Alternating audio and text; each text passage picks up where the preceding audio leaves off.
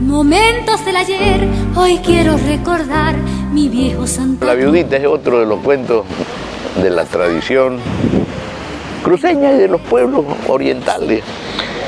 En México se la conoce como la llorona, porque disque le echa para sus versos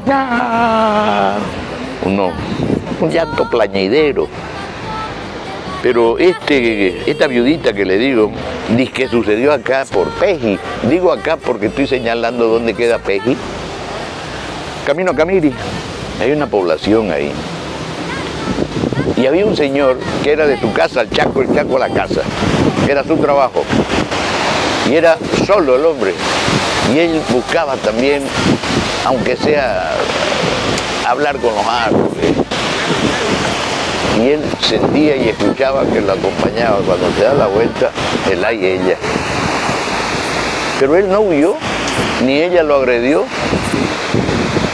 y lo acompañó, y plum desaparecía cuando ya estaban llegando al poblado, sin agredirlo.